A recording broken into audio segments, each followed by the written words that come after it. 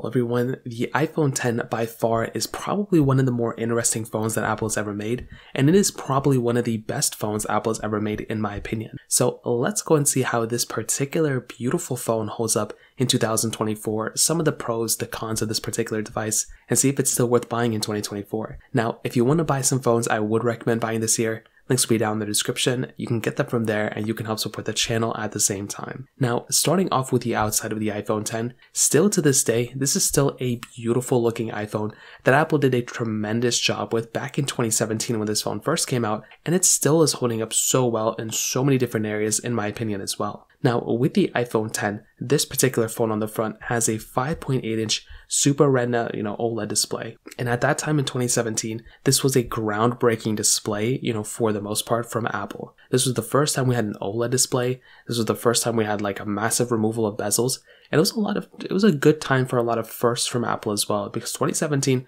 brought a lot of decent phones, and this was a very good phone, probably the best phone of 2017. Now you were getting the notch up top with Face ID. This was the first iPhone to bring both of those things, which is pretty insane. And Apple just went through and removed the notch this year. So think about how many years we had the notch from 2017 until 2023.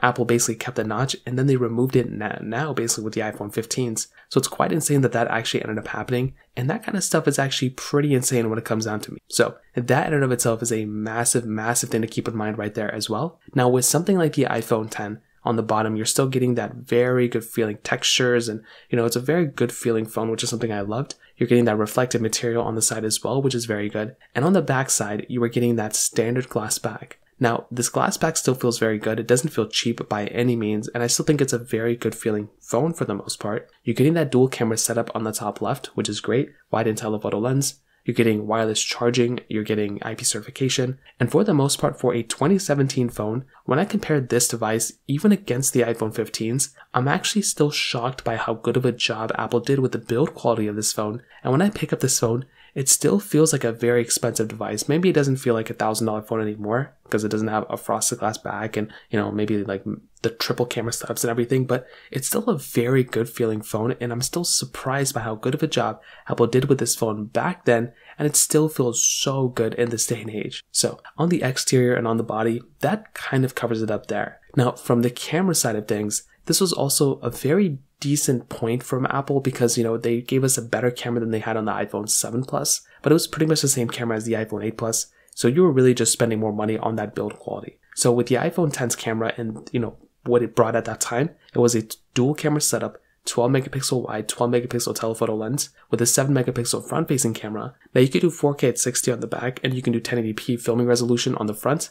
And I will say at that moment, at that time, this camera was very good. It was a good camera. I don't think people would buy this phone because of the camera, because if you would, you would just buy the iPhone 8 Plus and maybe save some money. And I didn't really think it was like that monumental of an upgrade coming from the 7 Plus. I think the 7 Plus brought a lot of capability and it was a big upgrade coming from the 6S Plus camera. So for them to have like two years of like back to back big camera updates, I didn't really see it happening either. So with this type of phone with the iPhone 10, it was a good camera you know, it was a good camera with a lot of capability and, you know, you had portrait mode in it, video modes, you know, no cinematic or anything, but it was a good camera and that was something that I liked. However, when you look at phones nowadays, you are definitely missing out on, you know, triple camera setups with an, you know, ultra wide sensor. You're missing out on like 8K filming, even 4K at the 60 on the front, you're missing out on. So you're missing out on a lot of stuff with this camera for sure. It's not the biggest deal in the world, but once again, it's just one of those small things to keep in mind. It's a quality of life thing. If you're buying a phone nowadays, you probably want it to be as, you know, the probably want it to be like the best camera that you can get for the price tag.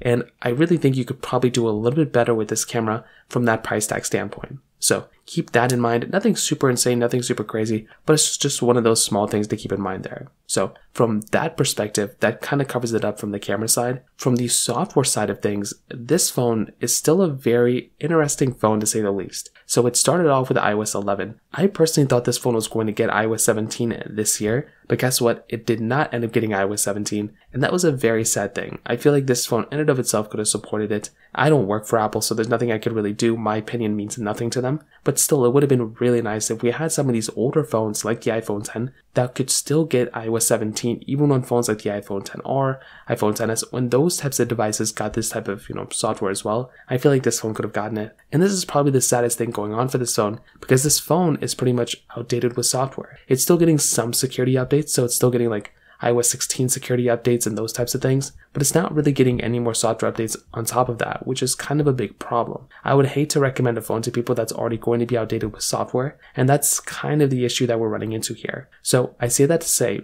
if you're buying an iPhone 10 in 2024, I would recommend just double thinking just probably avoid buying this iPhone because of its software updates. If you're okay with rocking an iPhone that's you know not getting any more software updates, at least in terms of uh, the latest ones, then you know go for it. But otherwise, I would just recommend avoiding this iPhone because there, you can always buy the iPhone 10s that's still supported with software. So that kind of covers it up from that specific perspective. Now, from the performance side of things, this was a very interesting phone as well. So this thing had that Apple A11 Bionic chip inside of it with 3 gigabytes of RAM. And I will say, although the chipset and the RAM of this thing isn't really like the most insane thing of all time in this day and age, this phone still feels fairly smooth and fairly fluid whenever I'm actually doing anything with it. I think fluidity is the word that I would use to describe the performance of this particular iPhone in 2024. And the reason for that, it's not because this phone's performance is amazing or that it was like a massive upgrade coming from the previous gen or, you know, it's similar to the iPhone 15. Not really. It is because of the gestures. The gestures in and of itself make the biggest difference for these older iPhones.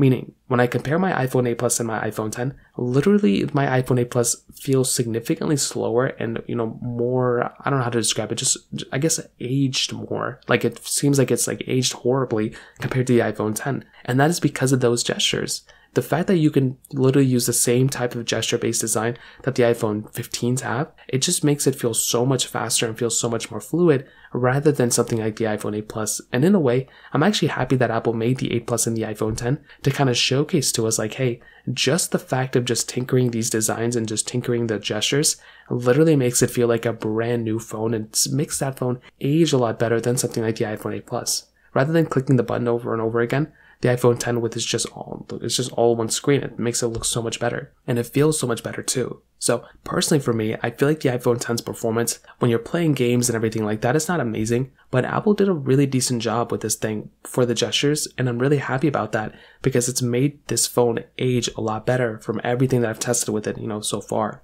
So take that as you will, but that's like another thing that's kind of a big advantage for this type of device as well. The battery life is one of those things that's really not like that crazy great anymore either, but still like it's not terrible. And that's just like another one of those things to keep in mind too. So to kind of sum it up, what I'll definitely tell you is I think the iPhone 10 is definitely one of those phones that I look at as probably being, you know, definitely not the best phone of all time, but it's definitely not, you know, one of the worst it's definitely not the best phone of all time. I think though there's been more impactful phones than this, but it is one of the most impactful iPhones of all time.